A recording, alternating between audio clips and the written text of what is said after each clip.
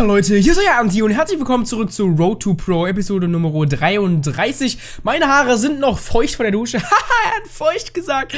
Ha, witzig. Ähm, und heute haben wir die Klassen ein klein wenig abgeändert. Ähm, indem wir bei der Sniper-Klasse und bei der Tank-Klasse Hardliner als erstes Perk mit reingenommen haben. Ähm, denn, ja, Plünderer hatten wir teilweise drin, das haben wir ja schon auf der Pro-Version. Entschuldigung. und äh, Taktikweste, da müssen wir uns nochmal explizit äh, widmen. Allerdings Hardliner sind alles Challenges, die man so mehr oder weniger nebenbei schafft. Hier geht es nämlich darum, ähm, ich kann da gerade mal hier reingehen. Äh, nein, nicht extra 3. Falsch. Äh, wo haben wir es? Hardliner. Wir müssen einmal 10 Pakete teilen. Abschlussserien Belohnungskisten. Dafür habe ich heute sowohl die Vorräte als auch das Bodenluftgeschütz dabei. Ich hätte auch gerne noch als drittes das normale Geschütz mitgenommen, weil dann logischerweise wir drei Kisten haben, die wir alle auf den Boden schmeißen können und sich die Teammates da ohne zu zögern sich das einfach holen können. Und dann sind wir relativ schnell durch. Allerdings hatte ich nicht genügend Geld fürs Geschütz, deswegen, deswegen jetzt nur in Anführungsstrichen Vorräte und Bodenluftgeschütz. Dafür haben wir aber ein eine Drohne dabei. Und das ist praktisch für die nächste Challenge, nämlich mehrere Abschussserien. Wir brauchen sieben Abschussserien in einem einzigen Spiel mit Hardliner. Ähm, und äh, da hilft es natürlich, relativ kleine Killstreaks dabei zu haben. Deswegen sehr praktisch, dass wir da eine Dreier- bzw. mit Hardliner Zweier Abschussserie mit dabei haben. Und dann brauchen wir eben noch sieben Abschüsse ohne zu sterben. Das ist etwas, was, äh, wenn man sich die letzten Episoden Road to Pro anguckt, vielleicht ein bisschen länger dauern wird. Aber ich habe mir vorgenommen, mir kein Druck in irgendeiner Form zu machen. Ähm, kein Druck irgendwie zu machen, sondern da wirklich diese siebene Abschlussserie einfach von selber kommen lassen. Ähm, vorher machen wir aber, ja, du halt mal dein Maul. Äh, vorher machen wir aber ein bisschen Sniper Nuketown Only. Bei Sniper Only kann ich es verstehen, wenn man Nuketown zockt. Äh, da haben wir jetzt nämlich gerade, habe ich jetzt gerade entdeckt, dass es da einen frei für alle Server gibt. Bisher hatten wir ja immer nur Suchen und Zerstören gefunden. Und da kommen wir dann auch ein bisschen weiter mit der Speer-Challenge, wo wir ja noch ich glaube, zwölf Abschüsse mit dem Snipergewehr machen und die kriegen wir hoffentlich in einer einzigen Runde durch. Also zwölf Kills sollte doch drin sein. Die Tode zählen ja nicht. Okay, wir versuchen unser Bestes. Er war drauf. Aber ich will nicht wieder darüber reden. Ah! Ja, klar, der kneift einfach. Darf man das? Bis jetzt wird er noch nicht gekickt. Ich weiß es nicht. Ist ja unfair, wenn man knifen darf. Lava, das spielt jemand Farmers. Warum spielt jemand Farmers? Das war wahrscheinlich der Typ, der mich gerade geneift hat. Der kackt auf alles. Oh mein Gott, es ist ein Sniper-Only-Server. Bitte, Junge. Ah, ich... Direkt erstmal beleidigen. So muss das sein. In der YouTube-Community. Oh, heilige Scheiße. Ist noch einer mit einer gesignsten Farmers. Macht natürlich Spaß.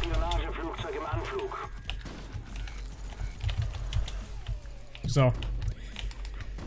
Oder mal gucken.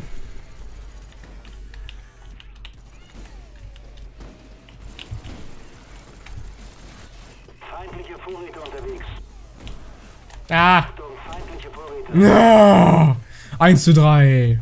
Natürlich geil, wenn man auf so einen Server kommt und dann spielen erstmal zwei Leute äh, Farmers. Ist natürlich perfekt. Äh, okay, lassen wir. ja, ich bin sogar Killcam. Geile Scheiße. Lassen wir lieber. Nee, Sniper Only ist nicht so mein Ding. Ich weiß nicht, also irgendwie. Hm, nee, sind mir alle zu gut da. Na. Na. Äh, so, ich habe schon wieder zu viel Black Ops 2 gespielt, glaube ich. Jetzt bin ich wieder überhaupt nicht mehr an das Spiel gewöhnt. Das ist immer so das Problem ähm, mit diesen Road to Pro Folgen und auch ganz sicher einer der Gründe, warum ich so derbe abkacke in den meisten Folgen oder in vielen Folgen, ist einfach dieses. Ich suche jetzt gerade einfach mal nach einem anderen. Nach einem einfach normalen gemischten Server, nicht irgendwas 24-7, all allowed, aber es ist Suchen und Zerstören. Das, äh, das wäre natürlich für kugelsichere Weste gar nicht schlecht aber mehr auch nicht. Sollen wir mal einfach versuchen? Eine kugelsichere Weste? Ne, wir gucken erstmal weiter. Hauptquartier, leider nur 2 von 18, sonst würde ich da sofort reingehen. Array, frei für alle, ne, ist klar. Und hier Capture the Flag, da ist dann wieder nur ein Spieler drin oder so. Und dann 300, 300er Ping, ja klar, das macht natürlich Spaß. Äh, Ich finde wieder keine Server. Ich glaube, ich habe mir auch eine falsche Uhrzeit ausgesucht. Ich meine, wir haben 13.51 Uhr.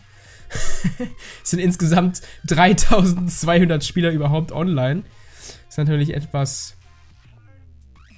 Ah. Was soll ich machen hier? Friends in Battle, das ist wenigstens noch einer, der gemischt ist. Aber der war gerade für 18 von 18. Sieht aber so aus, als könnten wir doch drauf. Ja, sehr nice. Okay. Sehr gut. Mhm. Da spielen wir jetzt auch wahrscheinlich mal mit der AK-74U. Ich habe nämlich bei der Tank-Klasse die Galil mit einer AKU ausgetauscht. Einfach aus dem Grund, dass wir ja für ruhige Hand Hüftfeuerabschüsse brauchen. Die sind mit einer SMG logischerweise einfacher zu meistern als mit einem Sturmgewehr. Mhm. Los geht's. Tankklasse. Bam. So. Dann gucken wir doch mal. Hardliner haben wir in der Klasse auch dabei. Also das, das können wir auf jeden Fall leveln. Nein, ich hätte es nicht machen sollen. Ich hätte es einfach nicht machen sollen. Trotzdem ist das ein Pisser dafür, dass er einfach da mit einer M16 hockt. Aber es war mein Fehler, äh, dass ich gepiekt habe. Also, dass ich versucht habe, den noch zu bekommen. Genauso wie den Typen im Headleach-Spot. Alter, es ist doch beschissen, Mann. So. Gut, dann gehen wir außen rum. Alternative Route einfach mal. Oh, wow, sie campen einfach überall. Da campt der nächste oben im Fenster. So, Hüftfeuerabschuss, sehr nice.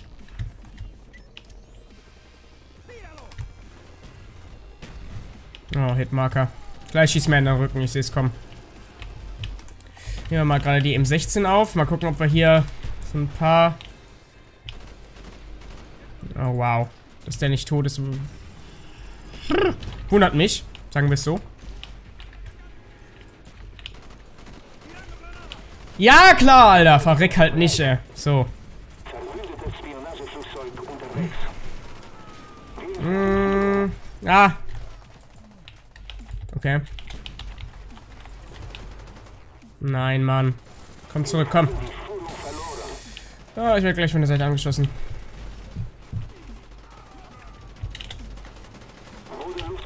So, nice. Da haben wir das Bodenluftgeschütz. Ah, Spectre finde ich gut. Gib mir die Spectre. Das ist eine andere SMG, die man noch halbwegs spielen kann. Ähm, ich habe keinen Geist dabei. Nice. Da haben wir die Vorräte und das Bodenluftgeschütz. Die können wir gleich auf den Boden werfen für Teammates, die sich die nehmen können. Allerdings will ich das nicht hier machen, weil hier sind im Moment überhaupt keine Teammates und ich will halt nicht riskieren, äh, dass es halt Gegner bekommen. Aber hier scheinen jetzt Leute zu spawnen. Deswegen werfen wir beides hier mal hin. Und versuchen, unsere Streak weiter fortzusetzen, denn wir brauchen ja immerhin sieben Abschüsse, ohne zu sterben. Nehmen wir mal die HK und versuchen, den da aus dem Fenster rauszuholen. Nein, feindlicher Huey. Was? Oh mein Gott, wirklich? Nein. Äh. Oh, wow. Das ist ein Gegner. Läuft bei dem. Cooler Typ, auf jeden Fall. Ja, jetzt hatten wir wieder die Abschlussserie. Wie haben die denn einen scheiß Chopper bekommen? Guckt euch doch mal die Scores von denen an. Okay, der eine hat 12,5. Das könnte natürlich theoretisch drin sein. Chopper, je nachdem wie er halt, wie seine Tode verteilt sind. Da kommt gleich einer hoch.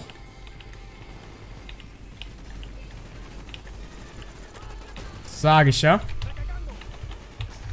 Kommt bestimmt auch gleich einer hin. Ja, war klar. Okay, nice. Nächster Hüftfeuerabschuss. So, jetzt kommen hier gleich Mörser hin. Nicht so, nicht so lecker. Ja, äh, Leute, tut mir leid, dass ich jetzt hier so rumcampen muss, aber was soll ich machen? Ich meine, es ist draußen ein Huey. Oh, toll geworfen, Anti. Super. Kriegst wieder den Preis für die schlechteste Flashgranate der Nation, ey. Mein Gott, okay. Der Huey ist weg. Finde ich gut. Äh, haben die jetzt irgendeine? Wahrscheinlich haben wahrscheinlich die Gegner echt meine Vorratskisten bekommen, obwohl ich eigentlich versucht habe, sie irgendwo hinzuwerfen, wo meine Teammates sie bekommen können.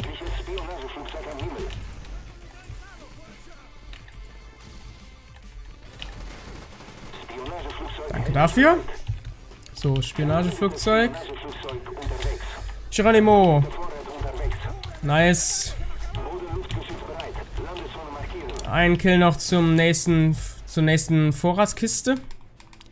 Dann kann ich die beide wieder Auf den Boden werfen. Nice, okay. Ah, da kommt wieder einer.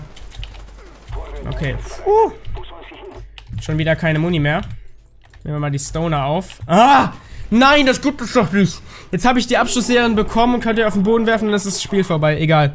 Auf jeden Fall habe ich schon einige Abschussserien, ich glaube sechs Abschussserien bekommen. Für meine sieben, die ich... Ach nee, ich muss ja sieben in einem Spiel. Okay. Schade auch, dann war ich knapp dran vorbei, aber wir sind ja auch in ein Spiel gejoint, das schon am Laufen war. Deswegen... Äh, bleiben wir erstmal in der Lobby. Die Lobby gefällt mir eigentlich ganz gut. Da habe ich auf jeden Fall gute Chancen. Hüftfeuerabschüsse haben wir ganz gut geschafft. Äh, und ja, jetzt brauchen wir halt die 7er Abschussserie immer noch. Und wir müssen halt eine Abschussserie in einem Spiel mehr schaffen, als wir es gerade eben gemacht haben, weil wir gerade eben sechs in einem Spiel geschafft haben. Wir brauchen sieben, um das Ganze freizuschalten. Ärgerlich, dass wir so knapp vorbei waren. Also wenn wir nicht in eine Lobby reingejoint wären, die schon am Laufen war, also wenn die ein Spiel noch ein bisschen länger gegangen wäre, hätten wir es auf jeden Fall geschafft. Wir spielen weiterhin der AKU-Klasse. Bis äh, Sniper können wir uns dann demnächst wieder drum kümmern.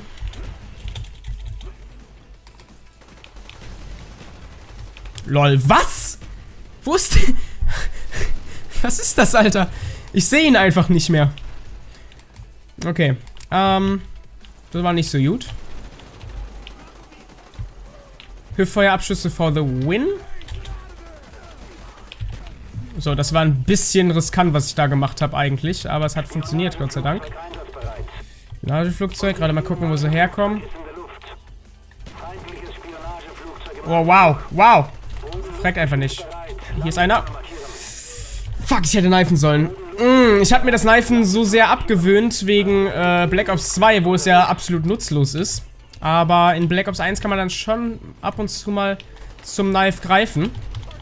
So ist es nicht. Äh, so.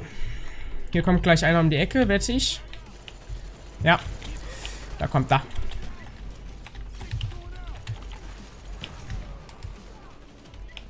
Du, du, du, dum.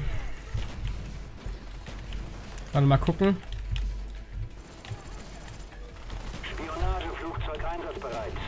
Okay, Spionageflugzeug. Nein! Warum hängt er da? Warum? Damit habe ich nicht gerechnet, dass da einer in der Ecke hängt. Okay, jemand hat schon mal meinen Vorrat, meine Vorratskiste aufgenommen. Das ist schon mal sehr nice. Äh, kommen wir da ein bisschen weiter. Oh, wow. War das meine Flash oder eine gegnerische? Oh, wow. Da ist ein Gegner. Ah, nein. Okay, ich bin noch nicht tot. Der hängt doch da. Der dumme Pisser. Mit Ghost und Farmers, Alter. Das ist so typisch, äh.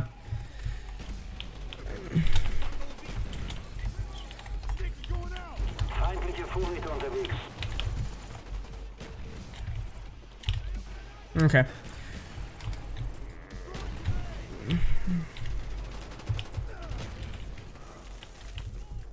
Okay, der ist tot. Ah. So.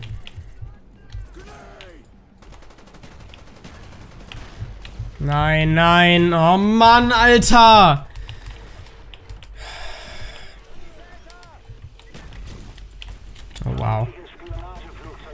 Ich bin, ich habe das Gefühl, ich bin in diesem Spiel irgendwie nur gestunt oder geflasht. Oh wow, aim.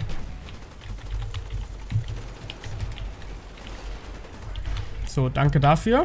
Haben wir wieder ein ganzes Magazin, trotz Magazinerweiterung gebraucht, um einen Gegner zu töten. Top. Wow, da war ein Gegner. Ich habe irgendwie Hitmarker bekommen. Auf jeden Fall. Ja, klar, es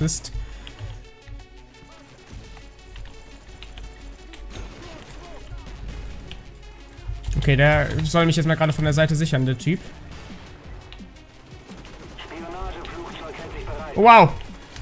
Oh, oh, oh, oh. Wow.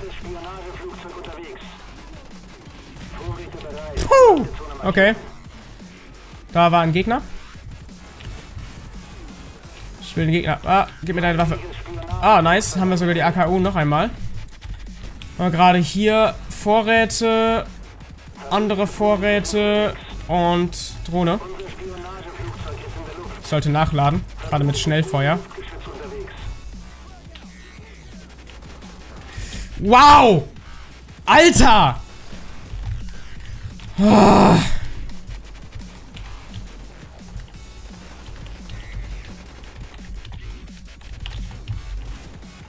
Verreck. Oh, ja klar, Hitmarker, Alter. Ist er? Da ist er. Nur mein Teammate ist einfach vollkommen... Danke, Vorratsteiler. Nehmt, nehmt euch, nehmt euch. Oh, scheiße, das Ding ist auf dem Dach. Ja, herzlichen Glückwunsch, Alter. Okay, nice. SR-71 haben wir. Ist...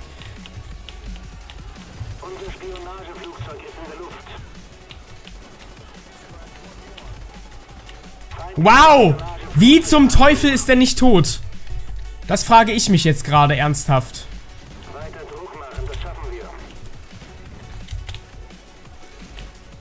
Okay, das C4 war nicht so gut.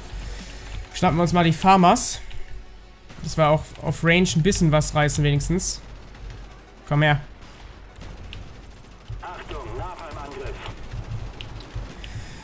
Ich traue mich irgendwie nicht weiter raus. Es sollte mal ein bisschen nach vorne gehen eigentlich. Danke. Sieben Abschlüsse in einem Spiel haben wir schon mal klar. Sehr nice. Oh, ja, dann ist das Spiel vorbei, klar. Okay. Was soll man dazu sagen? Ein paar sehr durchschnittliche Runden, aber Hardliner sind wir weitergekommen. Ruhige Hand auch einige äh, Hüftabschüsse, das könnt ihr mal glauben. Leider keine Sekundärwaffenabschüsse, das wäre dann in Speer, obwohl wir haben Speer in dieser Klasse, glaube ich, gar nicht dabei. Nee, Quatsch, ist ja, wäre statt ruhige Hand. Das heißt, die Sekundärwaffenabschüsse hätten eh nichts gebracht. Je nachdem, was jetzt für eine Map drankommt, würde ich mich dann überreden lassen, jetzt gleich mal zu snipen. Äh, kommt wirklich auf die Map an, also wenn jetzt irgendwas wie Nuketown oder nochmal Summit oder was auch immer kommt oder Firing Range, dann wahrscheinlich nicht. Hm. Ah ja. Okay, Radiation. Hm. Ist zwar eine große Map, aber Erstens sehe ich große Chancen, dass ich da bei einer 7er Abschlussserie hinbekomme. Zweitens, obwohl die Map groß ist, spielt sich viel von den Feuergefechten auf mittlere bis kurze Distanz ab. Weswegen ich jetzt wieder auf die AK-74U-Klasse zurückgreife und hoffe, dass ich jetzt meine Hardliner-Challenge die nächste hinbekomme. Ähm, werden wir sehen, ob das Ganze klappt. Ich gehe mal unterirdisch. Das eine Granate, die hier zu uns gekommen ist? Oh, da ist ein Gegner. Ich hab den erst gar nicht gesehen.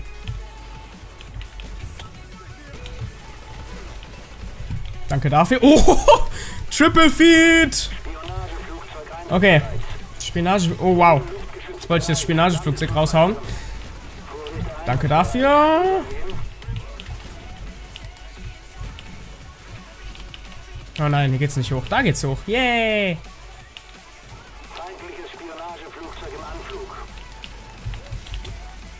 Ah, das ist ein Gegner. Da ist noch ein Gegner. Wo kommen die alle her? Aha. Okay. Ähm, das war jetzt unglücklich, dass ich da gestorben bin. Das hätte die Chance sein können. Ich hatte irgendwie sechs Kills oder so. Ne, vier, okay. Wollen wir es nicht übertreiben. Vorräte. Raushauen.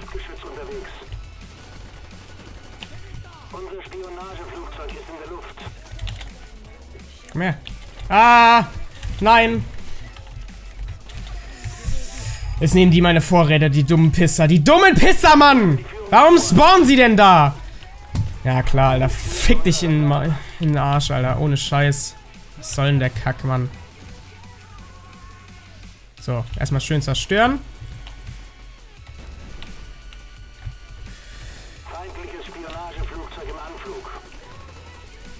Dein Ernst?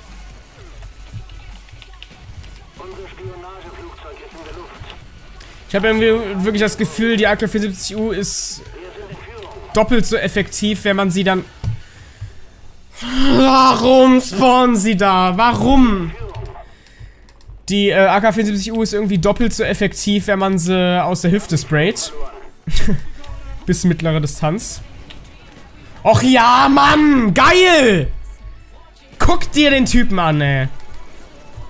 Ist auch mal gut jetzt, ohne Scheiß. Jetzt haben die ein Geschütz noch, auch sehr nice. Team jetzt wieder zu dumm zum Kacken. Nee, ich will jetzt nicht hier nicht drüber springen, dann holt nicht eh das Geschütz.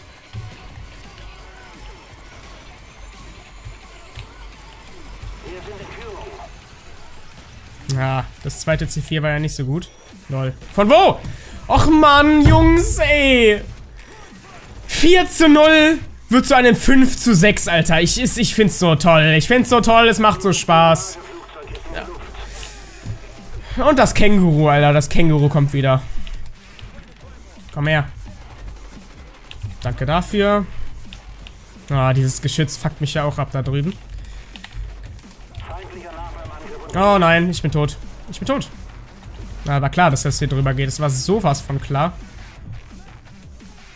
Ist der Typ da oben? Oh. Da ist er. No, wow! Fuck!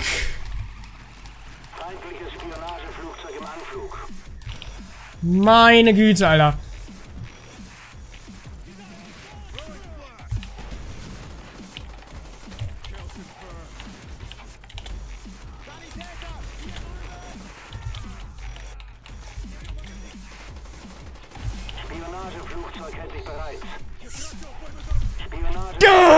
Ich versteh's nicht. Guckt, guckt euch das an. Wenn ich die AK-74U... Achso, da oben ist er, ja klar. Das habe ich... Ich vergaß, dass da oben auch noch ein Camper-Spot war. Die 74U ist einfach so fünfmal effektiver aus der Hüfte. Dann noch mal mit ruhige Hand gekoppelt. Da kannst du ja fast auf lange Range trotzdem noch alles reißen, Alter. Nein, nein. Nein, oh Gott, wie viele Leute.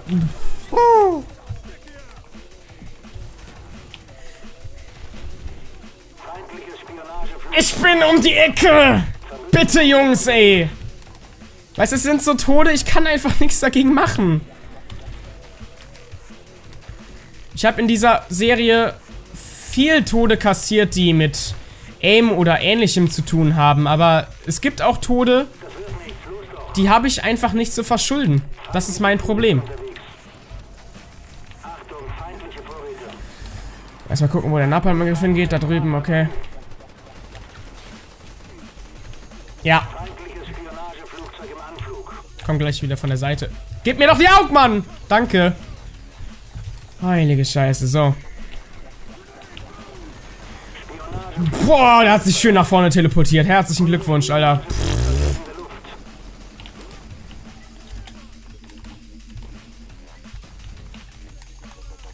Nehmen wir eher die Acker, äh, die, die Aug. Gucken, wo die langkommen. Komm jetzt hier eh. Komm schon, komm um die Ecke, trau dich. Ja, herzlichen Glückwunsch, dass du mich um die Ecke gerubberbandet hast. Alter, guck dir das an. Er schießt ins Leere. Fuck. Ich habe dieses Spiel 4 zu fucking 0 angefangen. 4 zu fucking 0. Ich habe jetzt 12, 12, Alter.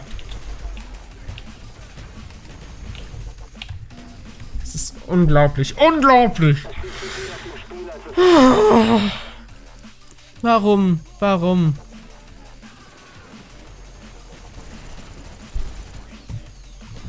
Egal, Jungs. Wir gucken uns an, wie weit wir gekommen sind in den verschiedenen Challenges. Äh, Gerade mal uns hier angucken, wie weit wir da sind. Äh, bei Hardliner haben wir die mehreren Abschlussserien erledigt, haben drei von zehn Paketen geteilt. Gut, hätte besser sein können, aber ich habe auch irgendwie meine Pakete immer dahin geschmissen, wo dann plötzlich zufällig der, der, der Gegner-Spawn war. Blöderweise. Und ruhige Hand. Gucken wir mal. Haben wir Hüftenabschüsse. 21 von 150. Gut, es sind halt 150 Kills, deswegen, äh, das dauert noch eine Weile, aber wir sind auf jeden Fall sehr weitergekommen. Ich glaube, wir hatten am Anfang 12.